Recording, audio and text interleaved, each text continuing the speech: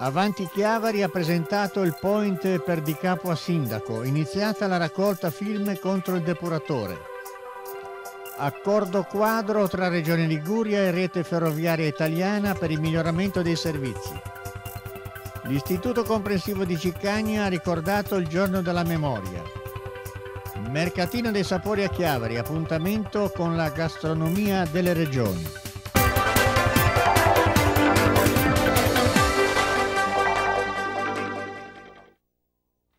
Buonasera ai telespettatori di, GT Guglio. Si susseguono le iniziative in vista delle prossime eh, consultazioni amministrative di Chiavari e appunto nel capoluogo del Tiguglio questa mattina è stato presentato da parte di Avanti Chiavari il nuovo point ed è iniziata la raccolta delle firme contro il depuratore previsto nell'area del Lido. Ecco il servizio di presentazione di Marisa Spina. Questa mattina il candidato sindaco Marco Di Capua inaugura il suo point qui in Corso Garibaldi, segno evidente della partenza di questa campagna elettorale chiavarese che come si preannuncia? Ma si preannuncia una campagna combattuta con tanti candidati come per del resto è sempre stato anche nelle campagne precedenti. Noi siamo, abbiamo già completato due liste civiche, tutte persone non iscritte a nessun partito, stiamo allestendo una terza lista civica. Quindi eh, questa mattina eh, si presenta alla città in maniera diciamo così ufficiale, però è un'ulteriore occasione quella che voi offrite questa mattina. Sì, apriamo il point elettorale qua in centro a Chiavari, in Corso Garibaldi 44, che verrà tenuto aperto mm, mattina, eh, il venerdì mattina e tutti i pomeriggi perché vogliamo, oltre ad ascoltare i bisogni della, della gente di Chiavari, vogliamo anche far partire una raccolta firme contro il progetto del depuratore di Vallata al Lido. Qual è la condizione principale che vi porta a raccogliere le firme contro il depuratore collocato al Lido? Ma eh, se ripercorriamo un po' la strada di questo depuratore, ci ricordiamo che quando era sindaco Vittorio Agostino, di cui io facevo parte dell'amministrazione, questo depuratore comprensoriale però era, doveva essere costruito a Lavagna in un'area industriale artigianale. Il sindaco, candidato sindaco Caveri eh, su questo tema Lavagna, diciamo. Lavagna, ha perso eh, le elezioni, perlomeno è stato una, un motivo di campagna elettorale perché i lavagnesi hanno detto chiaramente che in un'area anche se industriale non volevano questo depuratore. Ora magicamente eh, questo depuratore viene sulla spiaggia di Chiavari e a noi non sta bene. Quindi raccoglieremo una raccolta firme per manifestare il dissenso dei chiavaresi su questo, su questo progetto. Da oggi, che è sabato mattina, a lunedì, eh, Roberto Levaggi scioglierà le sue riserve per quanto riguarda la propria candidatura.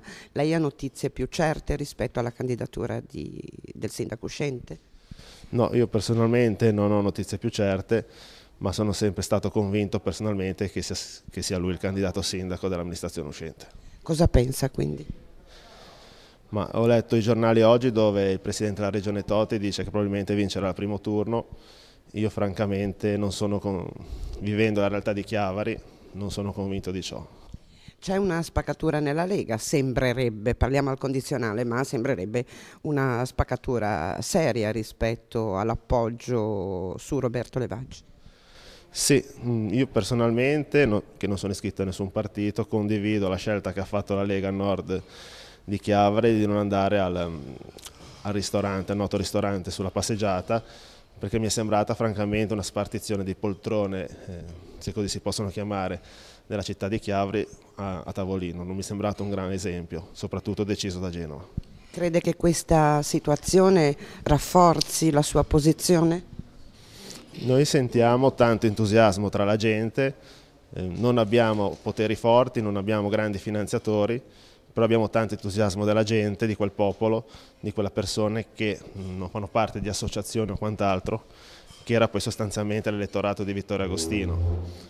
Noi abbiamo l'ambizione di dare un'alternativa moderata a Chiavari, ai delusi dall'amministrazione Levaggi e da chi non si, eh, aveva votato Vittorio Agostino.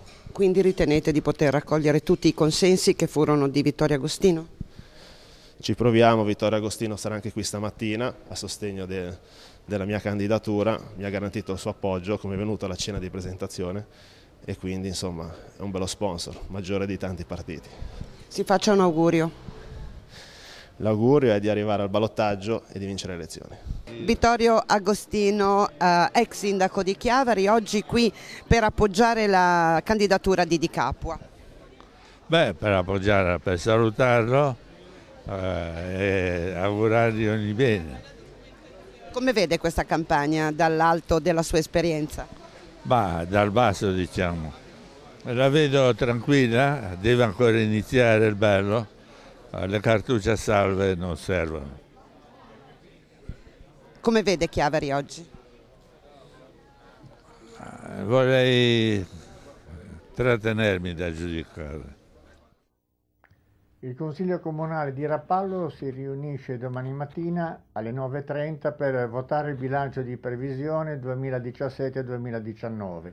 All'ordine del giorno anche due mozioni sull'apertura di un supermercato a San Michele di Pagana e un'altra che riguarda l'intervento della messa in sicurezza della copertura del torrente San Francesco. Accordo quadro tra Regione Liguria e la rete ferroviaria italiana per il miglioramento dei servizi. Vediamo di che cosa si tratta. La firma dell'accordo quadro tra Regione Liguria e Rete Ferroviaria Italiana rappresenta un importante passo in avanti sulla strada di un sempre maggiore efficientamento del servizio ferroviario su tutto il territorio. L'accordo consentirà una più efficace programmazione nell'utilizzo delle capacità infrastrutturali e quindi nell'elaborazione di orari che rispondano al meglio delle richieste del territorio. Lo ha dichiarato l'assessore regionale trasporti Gianni Berrino commentando l'accordo quadro sottoscritto dal governatore della regione Liguria Giovanni Toti e dall'amministratore delegato di rete ferroviaria italiana Maurizio Gentile nell'ambito dell'inaugurazione della nuova sala di controllo della circolazione ligure a Genova Teglia. L'investimento sulle dotazioni tecnologiche, prosegue ancora l'assessore Berino, da parte di RFI, garantisce sempre maggiori standard di sicurezza e di efficienza nel servizio ferroviario. Tra i contenuti dell'accordo anche la previsione della stipula di uno specifico protocollo d'intesa per la definizione di possibili ulteriori investimenti sul sistema ferroviario ligure, sia nelle infrastrutture sia nei servizi, come nel miglioramento tecnologico delle qualità dei luoghi di interscambio, dei sistemi di comunicazione e informazione dell'utenza e dell'accessibilità alle stazioni anche per utenti con disabilità. Gli impegni che RFI si assume, aggiunge l'assessore Berrino, si sommano già ai consistenti investimenti avviati sul territorio. Grazie all'accordo quadro sarà infine possibile ottimizzare il servizio ferroviario regionale tenendo conto degli scenari futuri in base allo stato di avanzamento degli importanti interventi in atto come il rifacimento del nodo ferroviario di Genova, il terzo valico, il raddoppio del ponente e il rinnovamento della stazione di Ventimiglia. Termina qui la prima parte di TG Tigullio, vi lascio adesso a una piccola pausa pubblicitaria.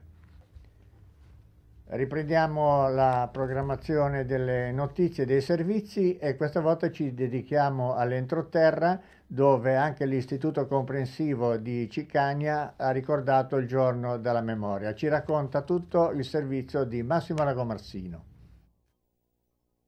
Anche quest'anno l'Istituto Comprensivo di Cicagna, in occasione della giornata della memoria, ha predisposto una serie di iniziative che si sono svolte al palazzetto multiuso di Cicagna. Eh, certamente questo avviene naturalmente tutti gli anni e assume anche un significato particolare qui in valle in quanto iniziamo a ricordare gli avvenimenti tristi di quegli anni con qualche giorno di anticipo eh, nella piana di Coreglia dove un tempo era presente il campo 52, un campo di prigionia e concludiamo nel giorno per così dire canonico della memoria del 27 qua a Cicagna con le scuole locali. È il nostro obiettivo quello di fare in modo che i ragazzi possano avere una chiara evidenza, una testimonianza di quello che successe in quegli anni bui perché possano portarsi sempre dietro questo ricordo e quindi in qualche modo cerchiamo di far sì che questo non si ripeta perché una sciagura di queste proporzioni è inimmaginabile come proporla come futuro ai nostri ragazzi. Sul mare e sulla terra chi ci salverà? Ci salverà il soldato che non la vorrà, ci salverà il soldato che la guerra rifiuterà. La guerra è già scoppiata ma il condirondero, la guerra è già scoppiata chi ci aiuterà? Ci aiuterà il buon Dio ma il condirondero, ci aiuterà il buon Dio, lui ci salverà. Buon Dio è già scappato dove non si sa, buon Dio se n'è andato chissà quando ritornerà. E adesso vi segnaliamo due appuntamenti. Il primo riguarda eh, la Croce Rossa di Lavagna nel suo comitato di via al Carmelo, dove domani pomeriggio a partire dalle 15 si svolgerà una tombolata eh, dedicata a, a, tutti, aperta a tutti. Il ricavato sarà utilizzato per l'acquisto di viveri per le persone bisognose di Lavagna. Martedì un appuntamento invece classico, culturale della settimana, martedì eh, alle 16.30 a cura dell'Associazione Culturale O Castello di Chiavari nella sala d'ascolto livellare di Via del Pino una conversazione curata dal professor Marcello Vaglio dal titolo A caccia de parole e in cerca dell'angheso misterioso. Come ogni fine mese, eh, il mercatino dei sapori e delle tradizioni a Chiavari in via Rivarola, un appuntamento con la gastronomia italiana. Ecco servizio. Domani, secondo e ultimo giorno in via Rivarola Chiavari, dalle 9 alle 20 del Mercatino dei Sapori e delle Tradizioni, la rassegna mensile dell'enogastronomia artigianale, ideale cornice per l'incontro tra storia, cultura e tradizione. L'evento fin dal suo nascere ha avuto infatti come scopo il creare un'occasione di incontro tra quanti ricercano il buon cibo di qualità e chi fa dell'eccellenza agroalimentare un criterio importante del proprio lavoro. Gli organizzatori del mercatino proseguono l'attività alla ricerca di materie prime, lavorazioni artigianali e produzioni d'eccellenza. L'evento organizzato dall'assessorato al turismo del comune di Chiavari in collaborazione con Totem Eventi e in sinergia con l'associazione nazionale La Compagnia dei Sapori. La Liguria è presente con l'olio extravergine di oliva, le olive taggiasche, il pesto, le creme e le salse tipiche della tradizione, l'olio del Levante, le paste essiccate, trofi e corzetti, funghi secchi, acciughe, formaggi locali e miele. Dalla Lombardia vini dell'Oltrepo Pavese, i formaggi della Val Camonica, la pasta fresca, i tortelli capusei. Il Piemonte è presente con miele, pane integrale, cereali, torte di nocciola, formaggi di alpeggio, salumi e vini del Monferrato. Infine la Toscana con il pane tradizionale, i salumi, il pecorino e l'olio extravergine di oliva. E anche questa sera abbiamo terminato l'edizione di TG Tiguglio. Vi lascio adesso alle previsioni del tempo per domani, domenica 29 e per lunedì 30. L'informazione giornalistica ritorna lunedì alle 12.45 con eh, TG Gente condotto da Marisa Spina e alle 19.30 con l'edizione di TG Tigullio. A tutti coloro che ci hanno seguito la più cordiale buonasera.